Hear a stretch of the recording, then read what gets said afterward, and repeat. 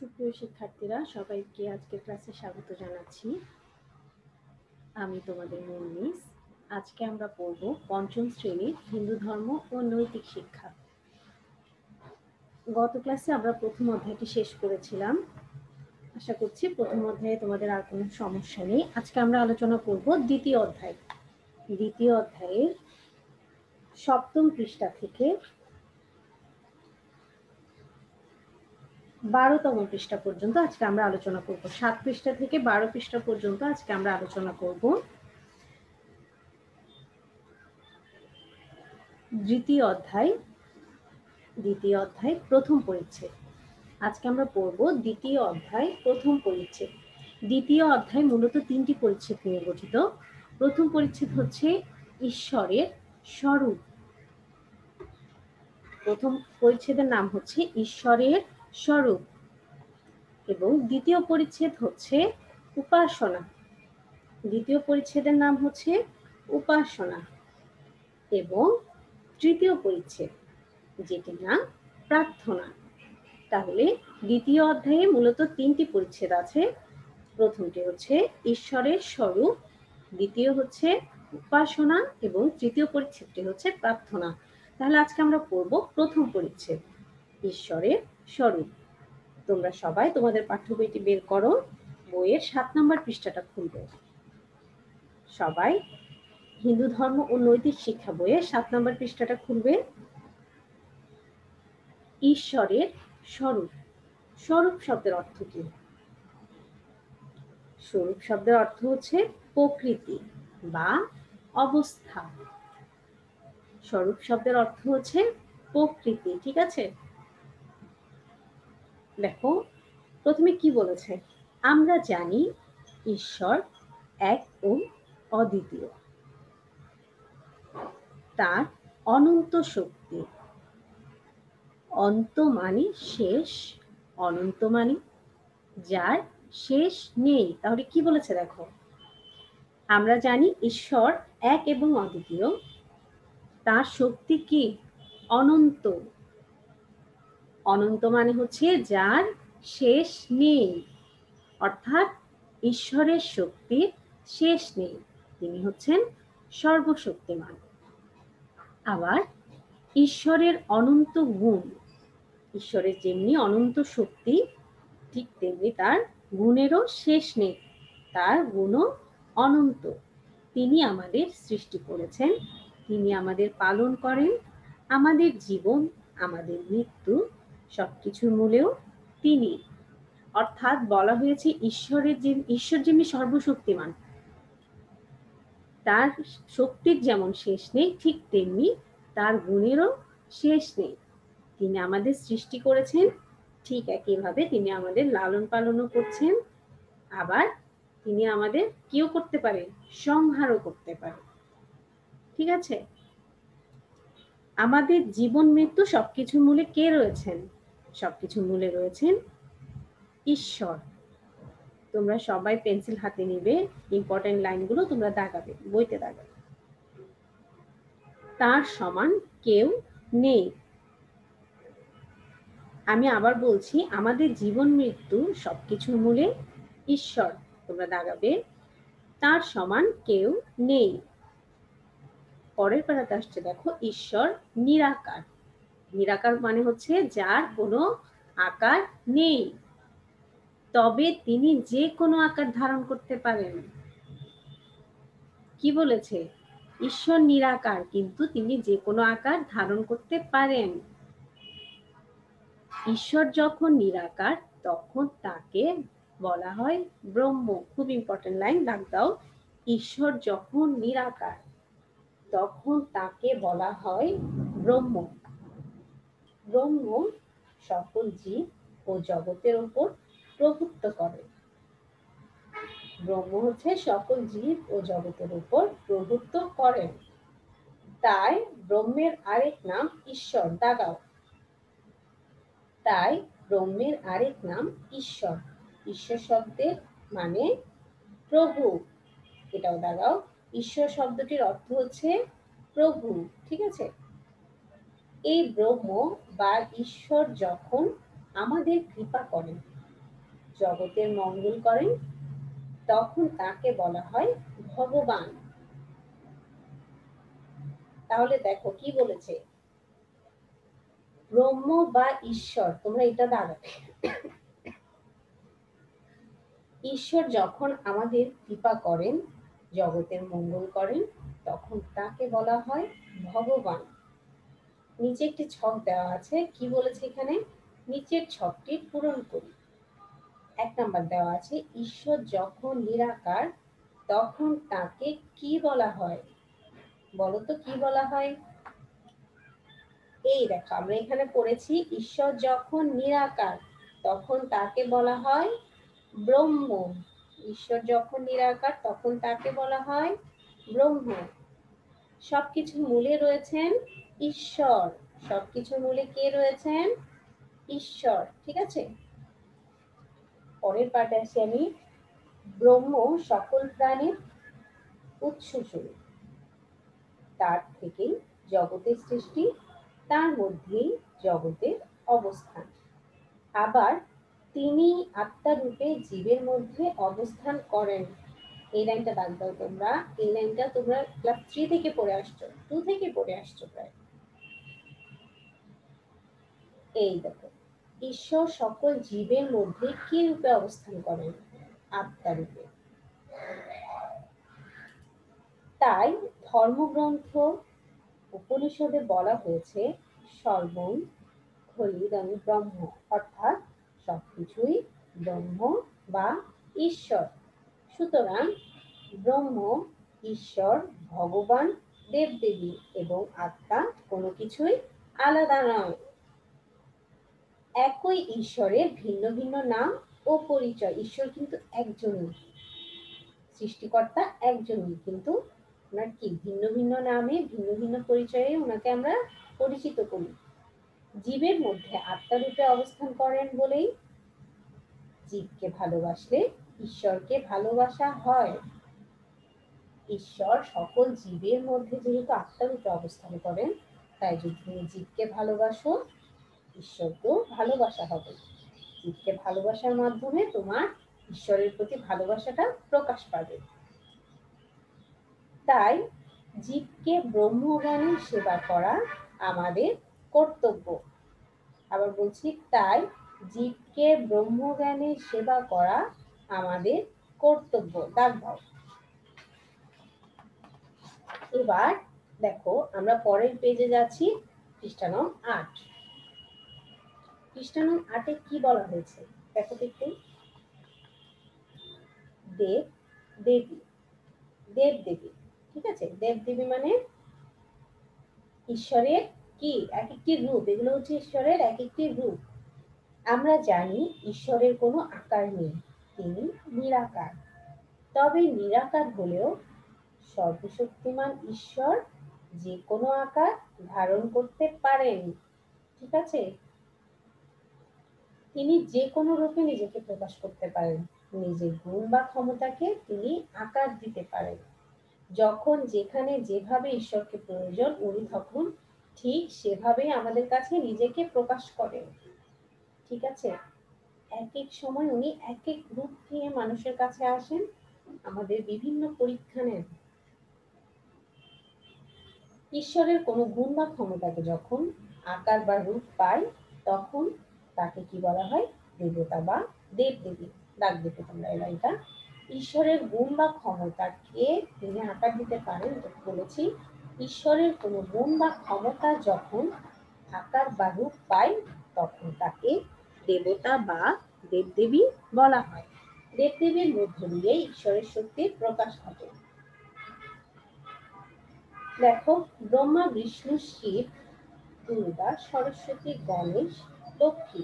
প্রভৃতি দেবদেবী এক ঈশ্বরের ভিন্ন ভিন্ন শক্তি বা গুণের ভিন্ন ভিন্ন রূপ। এই লাইনটা মোস্ট ইম্পর্টেন্ট একটা লাইন দেখো, তুমি একটু বোঝার চেষ্টা করো। ব্রহ্মা, বিষ্ণু, শিব, দুর্গা, সরস্বতী, লক্ষ্মী, কার্তিক, গণেশ, প্রভৃতি দেবদেবী একই ঈশ্বরের ভিন্ন ভিন্ন শক্তি বা গুণের ভিন্ন ভিন্ন রূপ। এগুলো হচ্ছে ঈশ্বরের এক একটি রূপ। ঈশ্বর তো একজনই। কিন্তু প্রতিটা দেবদেবী হচ্ছে ঈশ্বরের এক একটি রূপ। ঠিক আছে? যেমন, ঈশ্বর যে রূপে সৃষ্টি করেন তার নাম ব্রহ্মা। এটা দাগ দাও। ঈশ্বর যে রূপে পালন করেন তার নাম বিষ্ণু। আমাদের পালনকর্তা হচ্ছে বিষ্ণু। আমাদের ঈশ্বর যে রূপে সৃষ্টি করেন, আমাদের সৃষ্টি করেন কে? ব্রহ্মা। আমাদের পালন করেন বিষ্ণু। তার শক্তির প্রকাশ ঘটেছে দুর্গার মধ্য দিয়ে। দেবী দুর্গা হচ্ছে শক্তির দেবী দেবী সরস্বতী, যে বিদ্যা দান করেন। তা ঈশ্বরেরও একটি গুণ, সরস্বতী হচ্ছে আমাদের বিদ্যার দেবী। বেদ, পুরাণ, প্রভৃতি ধর্মগ্রন্থে দেবদেবীর রূপ, গুণ, শক্তি ও পূজা করার পদ্ধতি বর্ণনা করা হয়েছে। দেবদেবীর পূজা করলে তারা সন্তুষ্ট হন। দেবদেবীরা সন্তুষ্ট হলে ঈশ্বর সন্তুষ্ট। সুতরাং দেবদেবীর পূজার মাধ্যমেই ঈশ্বরেরই পূজা করা হয়। এখানে আরেকটি ছক রয়েছে, এটা তোমরা নিজেরা পালন করবে, পূরণ করবে। আমি তো বুঝিয়ে দিয়েছি, ঠিক এখান থেকে দেওয়া হয়েছে আগের ছকটির মতো। দেখো, পরে বলা হয়েছে অবতার। একটু খেয়াল করবে লাইটটা। কখনো কখনো পৃথিবীতে খুবই খারাপ অবস্থা বিরাজ করে। অশুভ শক্তির কাছে শুভ শক্তি পরাজিত হয়। মানুষ ধর্মকে ভুলে গিয়ে অধর্মের আশ্রয় নেয়। আমাদের এই পৃথিবীতে নানা রকম কিছু ঘটছে। দাঙ্গা, হাঙ্গামা, খুন, খারাপি, নানা রকম কিছু হচ্ছে কিন্তু কি অধর্ম? মানুষ নিজের ধর্মটাকে ভুলে গিয়ে অধর্মের আশ্রয় নিচ্ছে। লোভ, লালসা মানুষের মধ্যে এখন অনেক বেশি বেড়ে গেছে। চারিদিকে দুঃখের আর্তনাদ শোনা যায়। এই অবস্থা দেখে ধার্মিক ব্যক্তিদের হৃদয় কেঁদে ওঠে। তারা ঈশ্বরের নিকট দুঃখ মোচনের আকুল প্রার্থনা জানান। তখন করুণাময় ঈশ্বর জগতের কল্যাণের জন্য পৃথিবীতে অবতীর্ণ হয়। তিনি অশান্তি দূর করে শান্তি প্রতিষ্ঠা করেন। তিনি দুষ্কৃতিকারীদের ধ্বংস করেন সাধু সজ্জনদের রক্ষা করেন এবং ধর্ম প্রতিষ্ঠা করেন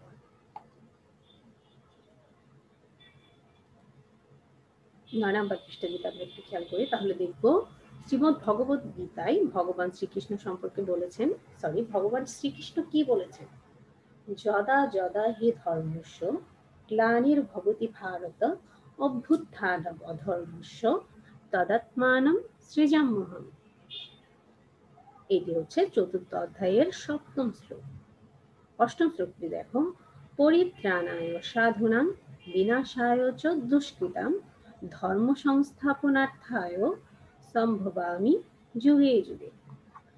অর্থাৎ পৃথিবীতে যখনই ধর্মের গ্লানি হয় এবং অধর্ম বেড়ে যায়, তখনই আমি নিজেকে সৃষ্টি করি। কে বলছেন? ভগবান শ্রীকৃষ্ণ বলছেন, সাধুদের পরিত্রাণ দুষ্কৃতিকারীদের বিনাশ এবং ধর্ম সংস্থাপনের জন্য আমি যুগে যুগে অবতীর্ণ হই পৃথিবীতে ঈশ্বরের এরূপ অবতরণকে বলে অবতার।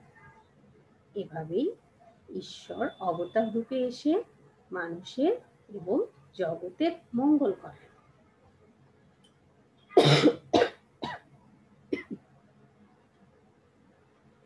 দেখো, নিচে দশটি অবতারের পরিচয় দেওয়া আছে। ভগবান বিষ্ণু বিভিন্ন যুগে দশটি অবতারে নিজেকে প্রকাশ করেছেন। দশটি অবতারের নামগুলো তোমরা অবশ্যই দাগাবে। মৎস্য, কুর্ম, বরাহ নৃসিংহ বামন, পরশুরাম, রাম, বলরাম, বুদ্ধ ও কলকি। লক্ষণীয় দশ অবতারের মধ্যে শ্রীকৃষ্ণের উল্লেখ নেই। এর কারণ কি? কারণ হচ্ছে অন্যান্য অবতার ভগবানের অংশ বিশেষ শ্রীমদ ভগবত পুরাণে বলা হয়েছে, কৃষ্ণস্তু ভগবান স্বয়ং। লাইনটা দাগাও। অর্থাৎ শ্রীকৃষ্ণ নিজেই ভগবান। তাই দশ অবতারের মধ্যে শ্রীকৃষ্ণের উল্লেখ নেই। আমরা এই দশ অবতার থেকে আজকে কয়েকটি অবতারের পরিচিতিটা পড়ব, ঠিক আছে?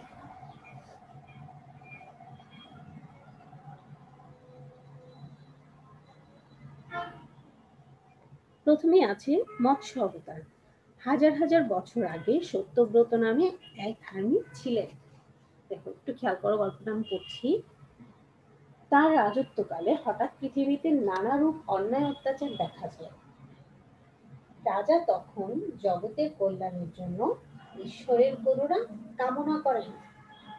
একদিন জলাশয়ে স্নানের সময় রাজা সত্যব্রতের নিকট একটি পুঁটি মাছ কি মাছ বলেছে, একটি পুঁটি মাছ এসে প্রাণ ভিক্ষে চায়। রাজা কমণ্ডলে আমাদের আসনে একটি কি বলব। আসনে একটি কমণ্ডল বলে আমরা যেটা দিয়ে জল জল ফেলি, পুজোর জল নিয়ে আমরা আবার জলগুলো ফেলি। মাছটিকে বাড়ি নিয়ে আসেন, রাজা। ওই কমণ্ডলে ভরে মাছটিকে বাড়ি নিয়ে আসেন। মাছটির আকার ভীষণভাবে বাড়তে থাকে। তাকে পুকুর, সরোবর, নদী যেখানেই রাখা হয় সেখানেই আর ধরে না। রাজা ভাবলেন, ইনি নিশ্চয়ই নারায়ণ। নারায়ণ কার আরেক নাম? নারায়ণ হচ্ছে বিষ্ণুর আরেক নাম।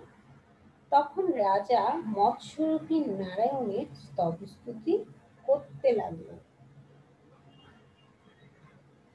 দেখো মৎস্যরূপী নারায়ণের ছবিটা দেখো তোমরা। তারপর মৎস্যরূপী নারায়ণ রাজাকে বললেন, সাত দিনের মধ্যেই জগতের প্রলয় হবে। সে সময় তোমার ঘাটে এসে একটি স্বর্ণতরী ভিড়বে তুমি বেদ সর্বকমের জীব দম্পতি খাদ্যশস্য ও বৃক্ষবীজ সংগ্রহ করে তাদের নিয়ে সেই নৌকায় উঠবে। কি কি নিতে বলেছে? বেদ, সব রকমের জীব দম্পতি খাদ্যশস্য ও বৃক্ষবীজ। ঠিক আছে? আমি তখন শৃঙ্গধারী মৎস্যরূপে আবির্ভূত হব। তুমি তোমার নৌকাটি আমার শৃঙ্গের সঙ্গে বেঁধে রাখবে। মহাপ্রলয় শুরু হলো। রাজা মৎস্যরূপী ভগবান শ্রীকৃষ্ণের শ্রী বিষ্ণু নির্দেশ মতো কাজ করল। ধ্বংস থেকে রক্ষা পেল তার নৌকা। প্রলয় শেষে রাজা সমস্ত কিছু নিয়ে নৌকা থেকে নেমে এলেন এভাবে মৎস্য অবতার রূপে ভগবান শ্রী বিষ্ণু সৃষ্টিকে রক্ষা করলেন। বেদও সংরক্ষিত হলো।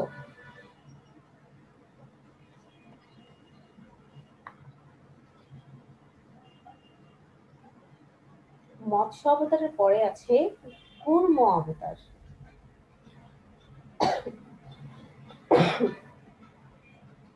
পাতালবাসী অসুরেরা একবার দেবতাদের পরাজিত করে স্বর্গরাজ্য দখল করে।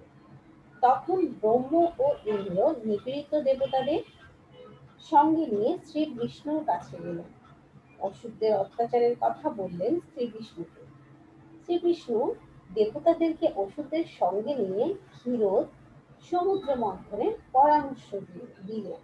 তিনি বললেন সমুদ্র মন্থনের ফলে যে অমৃত উঠে আসবে, তা পান করে দেবতাগণ অসুরদের পরাজিত করা শক্তি ফিরে পাবে।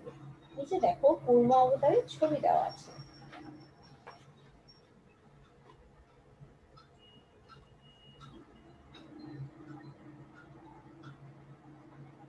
দেবতাগণ সমুদ্র মন্থন শুরু করলেন।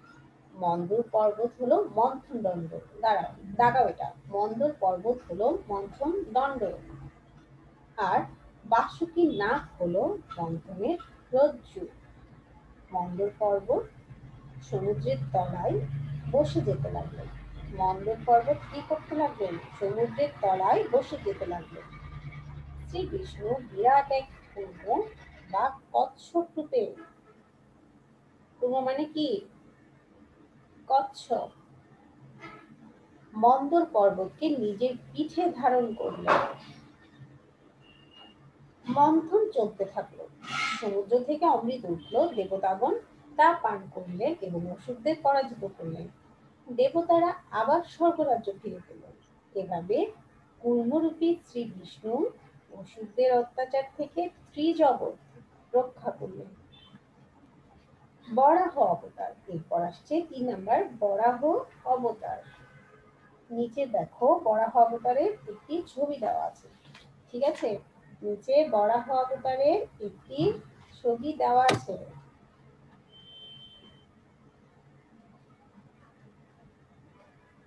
একবার পৃথিবীর জলে ডুবে যেতে থাকে। তখন শ্রী বিষ্ণু বরাহ রূপে আবির্ভূত হয়ে পৃথিবীকে উদ্ধার করেন। তার বিশাল দাঁত দিয়ে তিনি পৃথিবীকে জলের উপর তুলে ধরলেন। কি দিয়ে তিনি জলের উপর তুলে ধরেছিলেন? তার বিশাল দাঁত দিয়ে। পৃথিবী রক্ষা পেল। এছাড়া বরাহরূপী শ্রী বিষ্ণু দত্তরাজ হিরণ্যাকক্ষকে হত্যা করে পৃথিবীতে শান্তি প্রতিষ্ঠা করেন। এটা তোমরা দেখাও হিরণ্যাক্ষকে হত্যা করে দত্তরাজ হিরণ্যাক্ষকে হত্যা করে তিনি কি করেছিলেন? পৃথিবীতে শান্তি প্রতিষ্ঠা করেছিলেন। আমরা আজকে সাত পৃষ্ঠা থেকে বারো পৃষ্ঠা পর্যন্ত পড়লাম। তোমাদের যদি মধ্যে কোনো সমস্যা থাকে, তোমরা অবশ্যই মিসকে জানাবে। আমরা যে জিনিসটা নিয়ে তোমাদের সমস্যা থাকে, সেটি নিয়ে আমরা আলোচনা করব। এবার দেখো, আজকে আমরা যতটুকু পড়েছি মিস এর মধ্যে থেকে কয়েকটি পূরণ দিয়েছি।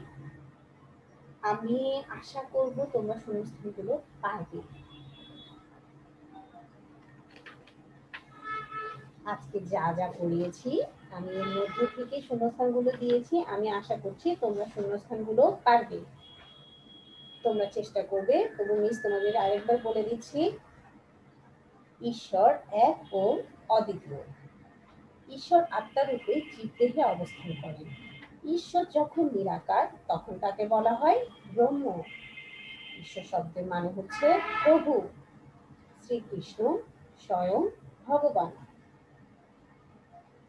যদা যদা হি ধর্মস্ব গ্লানির ভবতী ভারত। ঠিক আছে?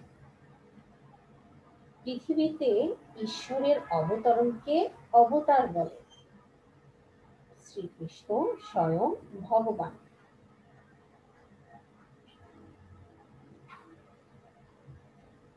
আমি এখানে কিছু শূন্যস্থান দিয়েছি। এই শূন্যস্থানগুলোতে তোমরা অবশ্যই বাড়ির কাজ করবে। মিস, তোমাদেরকে আরও একটি কথা বলব। সেটি হচ্ছে আমি আজকে যে পৃষ্ঠাটা পড়ালাম, সাত পৃষ্ঠা থেকে বারোতম পৃষ্ঠা, এই পৃষ্ঠাগুলো থেকে তোমরা আরও দশটি শূন্যস্থান তৈরি করবে। ঠিক আছে? এখান থেকে তুমি দশটি না, এখান থেকে যদি তুমি চাও নিজে পঁচিশ ত্রিশটা শূন্যস্থানও তৈরি করতে পারবে। কিন্তু আমি তোমাকে কি বলছি? শুধুমাত্র এখান থেকে তুমি আমি যে শূন্যস্থানগুলো দিয়েছি, এগুলো ছাড়া দশটি শূন্যস্থান তৈরি করবে। পাঠ্যাংশ থেকে এর বাইরে তোমাকে যেতে হবে না, তুমি শুধু সাত থেকে বারো পৃষ্ঠার মধ্যেই যেগুলো থাকবে ওগুলো কি শূন্যস্থান হিসেবে তৈরি করবে, ঠিক আছে? বারো পৃষ্ঠার পরে তোমাকে যেতে হবে না, বারো পৃষ্ঠার পরে থেকে আমরা নেক্সট ক্লাসে আলোচনা করব। তাহলে আজকের ক্লাস আমি এখানেই শেষ করছি, সবাইকে ধন্যবাদ, সবাই অনেক ভালো থাকবে, সুস্থ থাকবে।